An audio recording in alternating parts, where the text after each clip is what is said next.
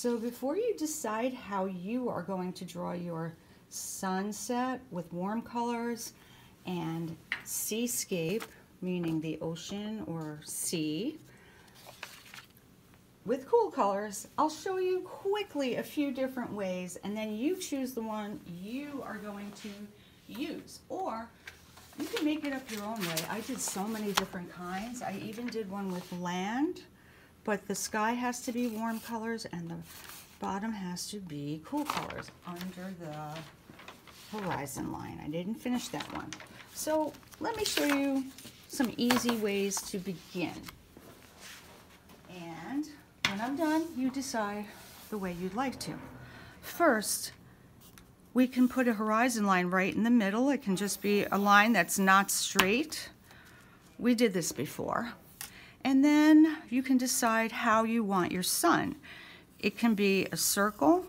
It can be a semicircle like this, right?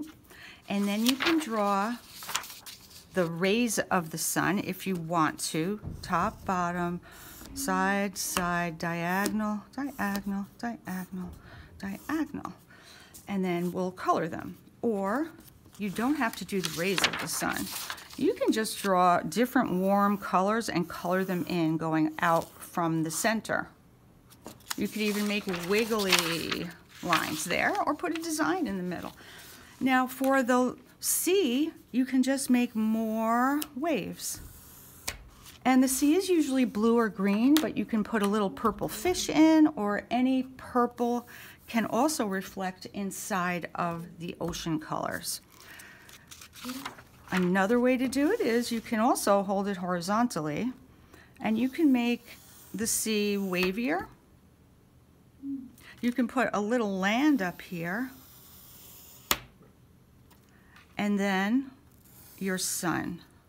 So this could be green, this can be blue, purple, and um, green. Blue, purple, and green. And so you have your cool colors under and your warm colors up. And remember, you can make the rays of the sun any way you want. And you can also, let's see, there's other ways. If you know how to make really wavy lines, those can be the waves if you want to. You can make the sun smaller. Maybe the sun is white and then other colors like yellow, orange, red, keep going around and around. And if you want, you can put a little fish in the water and he can be purple. So the cool colors are under the line, warm colors on top. Do it any way you would like to. And let's get started.